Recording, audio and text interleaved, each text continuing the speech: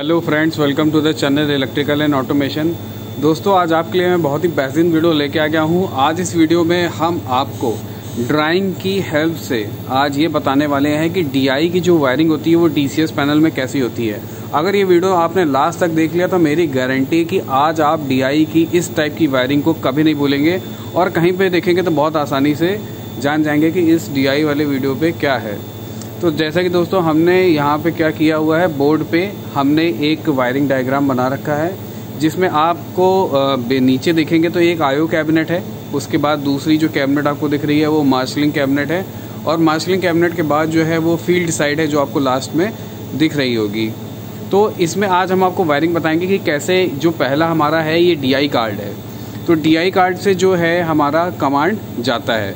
दोस्तों, सबसे पहले वीडियो में और डिस्क्राइब करने से पहले मेरी हर बार की तरीके रिक्वेस्ट है। अगर आप हमारे चैनल पर पहली बार आएँ हैं तो इस चैनल को सब्सक्राइब करना ना भूलिएगा। अगर ये वीडियो अच्छा लगे तो और लोगों के साथ शेयर करिएगा।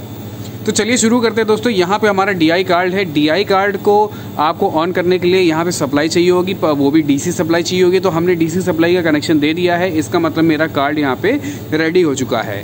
अब हमको करना क्या है कि हमारे फ़ील्ड को डीआई चाहिए होता है। डी क्या मतलब? डिजिटल इनपुट मतलब हमको फ़ील्ड से पता चले कि कोई चीज़ ऑफ़ हो गई है या कोई चीज़ हमने क्लोज कर दी है। मतलब लिमिट स्विच वगैरह की जो वायरिंग्स होती हैं, वो डीआई में आती है। या रन फीडबैक कोई चीज़ चल गई है, वो भी हमेशा डीआई में आता है। तो वो कैसे आता है? सबसे पहले हम चलते हैं फ़ील्ड की तरफ़। तो फ़ील्ड में दोस्तों होता क्या है? हम अकॉर्डिंग टू सिचुएशन हम कांटेक्ट देते हैं। जनरली हम लोग एनो कांटेक्ट देते हैं यानी फ़ील्ड में समय नॉर्मली वो ओपन रहेगा। अगर सपोज़ करिए मेरा यहाँ पे आ, ये वाला कांटेक्ट जो है वो मेरी वीएफडी के ड्राइव में लगा हुआ है और वीएफडी के ड्राइव के रन फीडबैक में। यानी अगर वो चलेगा तो ये एनो जो है वो दोस्तों एनसी हो जाएगा। तो सपोज़ करिए मेरी ड्राइव चल चुकी है और ये एनो जो है वो एनसी हो चुका है। यानी ये जो चीज़ है ये जुड़ जाएगी। तो जैसे ये जुड़ जाएगी तो इसके पास तक कार्ड के पास तक ये सिग्नल कैसे पहुंचेगा? अब हम वापस कार्ड की तरफ़ से देखते हैं। तो अब आपको ये समझ में आएगा कि एनओ हमारा कांटेक्ट हो गया, जो फ़ील्ड में हो गया, जो कि एनसी होना है। अब एनसी के बाद यहाँ तक कैसे आएगा, वो आपको रिवर्स साइड से समझेंगे तो भी समझ में आ जाएगा। चलिए उल्टी साइड कहीं से भी समझ लीजिए, जो दोनों तरफ़ से आसान है। तो होता क्या दोस्तों, यहाँ पे हमने ये हमारा जो है वो डीसीएस पैनल की मार्शलिंग कैबिनेट में ये टीवी रहती है। तो हम इस टीवी में दो दो हमारे टर्मिनल हैं। एक टर्मिनल में हम दोस्तों क्या करते हैं, चौबीस वोल्ट डीसी प्रोवाइड करते हैं। यानी, जैसे सपोज़ करिए, ये एक चैनल है, ये एक चैनल है तो एक चैनल के दो अगर आपके टर्मिनल हैं जैसा कि होता भी है डीआई में एक चैनल में दो टर्मिनल हम बनाते हैं और एक एक में हमने क्या किया 24 फोर वोल्ट डीसी दे दिया। तो जब 24 फोर वोल्ट डी सी यहाँ पर एनओ पे पहुँच जाता है और जब ये एनसी होता है तो ये घूम के टू नंबर पे आ जाएगा। यानी इस चैनल के, यानी इस चैनल के जो दूसरा टर्मिनल है, उस पर टू पे आ चुका है। अब ये सिग्नल जब टू पे आएगा तो ये वायरिंग हमारी कहाँ पे गई दोस्तों? ये हमारी गई है इस कैबिनेट की रिले में। ये दोस्तों क्या बना हुआ है? ये रिले बना हुआ है। रिले में दोस्तों क्या है? ये है रिले और ये है इसके कॉन्टैक्ट तो देखिए दोस्तों 24 वोल्ट वहाँ पे कांटेक्ट घूमा 24 वोल्ट यहाँ घूम के आई और ये रिले पे आई। जैसे ही दोस्तों 24 वोल्ट रिले पे आएगी तो रिले क्या हो जाएगी? एनर्जाइज हो जाएगी।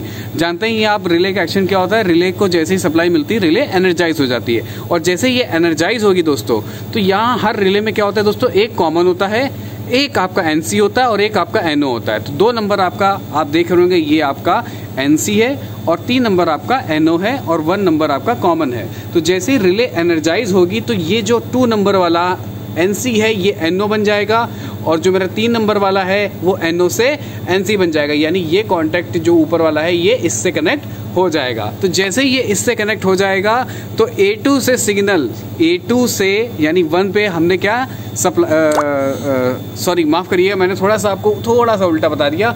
एक नंबर हमारा एनसी बना हुआ था, दो नंबर हमारा कॉमन था, क्योंकि सप्लाई किसमें आ रही है दोस्तों? जैसे कि मुझसे भूल हो गई, वैसे अगर आपको कभी कंफ्यूजन ना हो, आप हमेशा याद रखिएगा कॉमन पे हम सप्लाई देते हैं। तो मैंने ऊपर देखा नहीं था ट्वेंटी वोल्ट जो पावर सप्लाई है, वो मेरी दो नंबर पे आ रही है। इसका मतलब दो नंबर हमारा कॉमन है, एक नंबर हमारा एनसी है दो नंबर, तीन नंबर हमारा एनओ है। तो जैसे ही मेरी रिले एनर्जाइज होगी तो ये दो नंबर का कांटेक्ट उठ के तीन नंबर पे आ जाएगा। ये मेरी 24 वोल्ट घूम के दो नंबर से तीन नंबर में आ जाएगी। और ये तीन नंबर की 24 वोल्ट मेरे पावर सप्लाई के इस चैनल सॉरी पावर सप्लाई कह रहा हूँ, ये हमारे डीआई कार्ड के इस चैनल पे आ जाएगी। तो ये चैनल को पता चल जाएगा कि हाँ भैया, यहाँ पे फ़ील्ड पे कॉन्टेक्ट लग गया है। तो ये था इस तरीके से हम क्या करते हैं, हमारी जो फ़ील्ड है, उसका सिग्नल हमारे कार्ड तक पहुँचता है। मुझे उम्मीद है कि ये आपको काफ़ी अच्छा लगा होगा कि किस तरीके से सप्लाई घूम के आती है। मैं एक बार फिर से बताऊँगा, क्योंकि थोड़ा सा जो है ना, समझने में हो सकता है कुछ दिक्कत आ गई हो। तो सिंपल क्या होता है, कॉन्टेक्ट बना यहाँ से हमने 24 वोल्ट दी कांटेक्ट से वो 24 वोल्ट घूम के रिले पे आएगी रिले एनर्जाइज होगी रिले एनर्जाइज होगी तो जो हमारा कांटेक्ट है एनओ वाला, वो एनसी बन जाएगा और वो एनसी की सप्लाई हमारे कार्ड पे पहुँच जाएगी और कार्ड हमारा समझ जाएगा कि वो चीज़ ऑन हो गई है। दोस्तों, ये पावर ये रिले क्यों लगाई है? हम डायरेक्ट भी 24 वोल्ट लगाते और वो कॉन्टेक्ट बनाते और वो 24 वोल्ट सीधे उठा के हमारे कार्ड में दे सकते थे। क्यों नहीं दे सकते थे? भाई, ये 24 वोल्ट यहाँ पे टू नंबर पे आई और टू नंबर का रिले हटा के सीधे कार्ड पे देते तो भी कोई दिक्कत नहीं थी।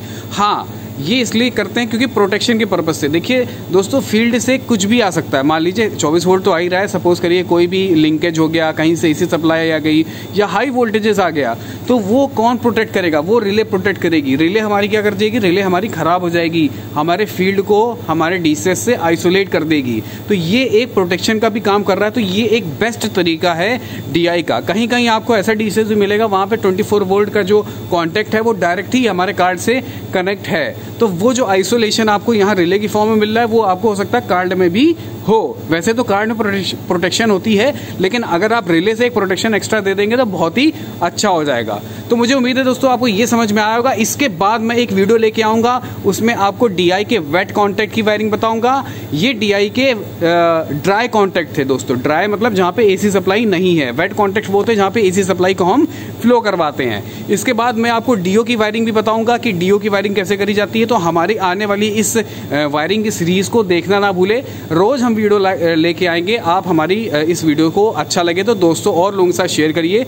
हम फेसबुक यूट्यूब और फेसबुक ग्रुप में लिंकडिंग में ट्विटर पे इंस्टाग्राम पे सब जगह अवेलेबल है। आप हमें फॉलो कर सकते हैं। डेली पोस्ट में डेली पोस्टेज हमारे पढ़ते हैं। उस पर भी आप हमसे कन्वर्सेशन कर सकते हैं। इस वीडियो को देखने के लिए थैंक यू